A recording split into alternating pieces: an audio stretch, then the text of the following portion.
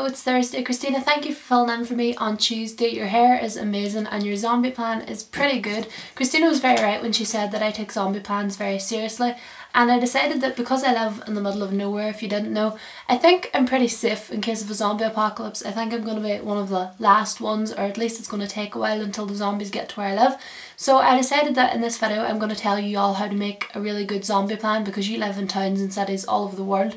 So um, if you have good zombie plans then there's more chance of all of us surviving and then we can party it up afterwards.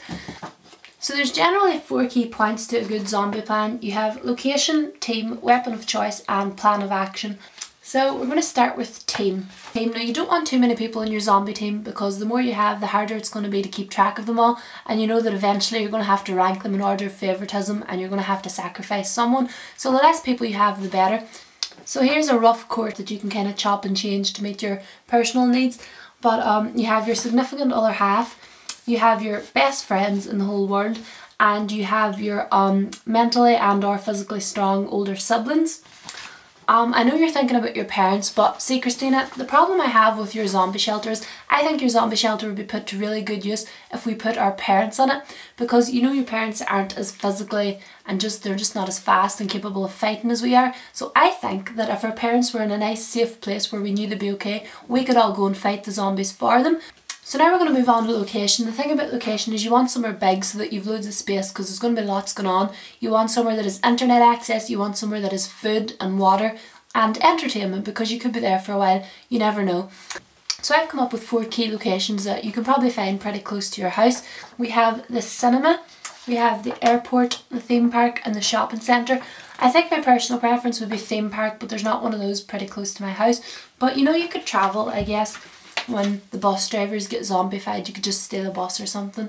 Say, think about your location now. Location is key. Maybe go and visit it and look around and see where the best hiding spots would be and stuff like that. And yeah, moving on to the final two, we've weapon of choice and plan of action. These kind of more depend on personal preferences and they also depend on your location.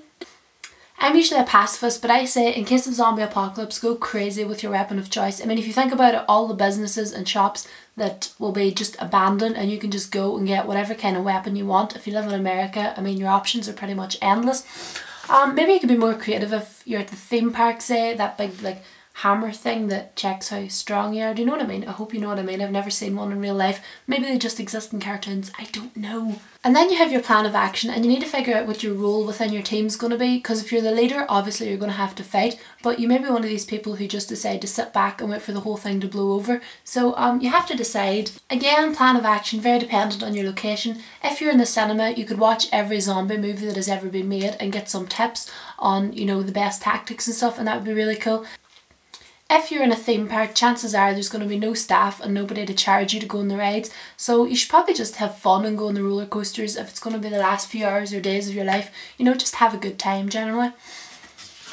And if you're in an airport, you could protect your whole country's security really by vetting people who are coming in off planes if the planes are still flying.